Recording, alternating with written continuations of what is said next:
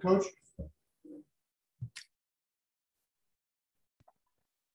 Hey, Lance, uh, what, what do you think was maybe the, the biggest problem for the defense today? I think there's a few. Um, you know, again, I, I don't know our total missed tackles. Um, I think just movement and getting people near the line of scrimmage enough. It just seemed like a lot of contacts taking place five, seven yards downfield. Um, missed tackles, leverage issues. Um, not playing aggressively. I just still think we're so tentative when we blitz and and do things. I, I you know, I don't know if it's a confidence issue, if it's an experience issue, if it's a strength issue, uh, or, or, where we're at. Um, that needs to be continued to be evaluated. And uh, the offense really never got going except for that one series in the second quarter. Um, what do you think kept you guys from building any momentum off of that? Yeah, you know, multiple breakdowns, not ability, uh, the inability again to establish a running game consistently. Um, we were poor in blitz pickups early, especially the first three quarters. Um, a lot of those, and, and there's no rhythm, and then you're not you you don't get a chance to get a rhythm going, and uh, and it just snowballs on us. What when you have a kind of one-sided loss like that, what do you tell the guys after the game? Well, again, we have to own it. We have to understand. I mean, there's there's a part again. I don't know what point I could probably quickly look here. Um, in the third quarter, I don't know what time it was, uh, but you know, here we are in a one possession game in the third quarter for the second consecutive week, and then then then it kind of gets away from us. That's so there's something there and we've got to find a way to build upon that and overcome the things that we're not doing well in the third and fourth quarter. Um, again, I, have I've said it to him, and I'll say exactly what I what I said to him, and I've said it every game is um, good or bad, win or lose. We have to own what's on the film. We have to build on what's positive, and then when we see something there, we can't be defensive or blaming in any other way, and uh, we have to be coachable and, and get back to work on Monday. And I told them that I need to do a better job for them. And, uh, and, and we all do. So if we all take ownership of it, uh, I think we'll continue to move in, in, in a direction we want to be.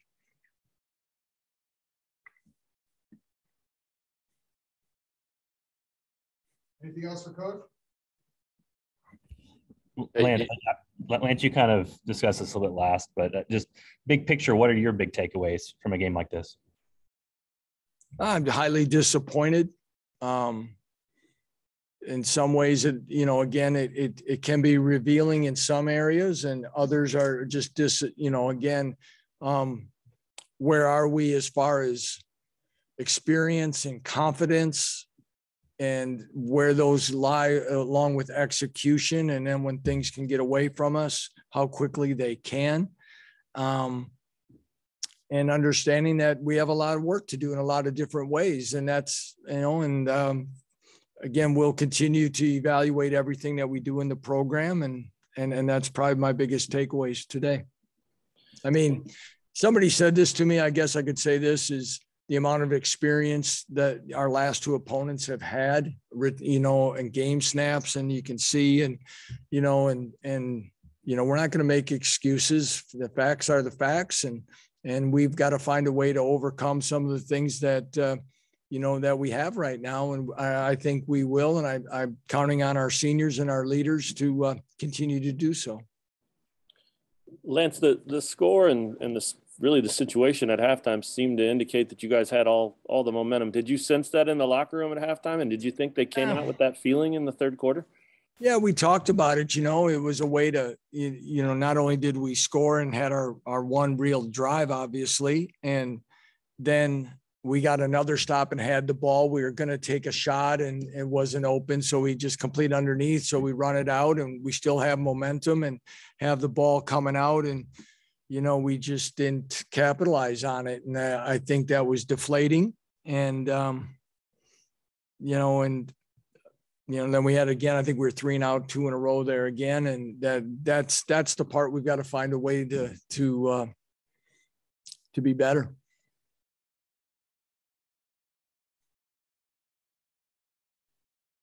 Anything else? Hey, uh, you went, went to Jalen there early in the fourth quarter. Was, was being hurt at all, or you just wanted to? kind of No. give Jalen some He- reps?